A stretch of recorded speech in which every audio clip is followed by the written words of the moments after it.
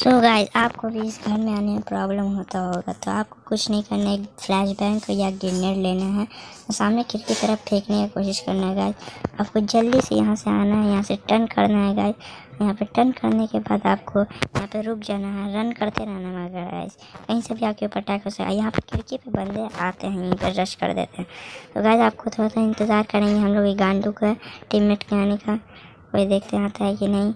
देखिए गाइस इसका कोई टीम में ट्राई रिवाइव फिर हम लोग उसका इंतज़ार कर नहीं आएगा गाइस इसे ख़त्म किया जाए।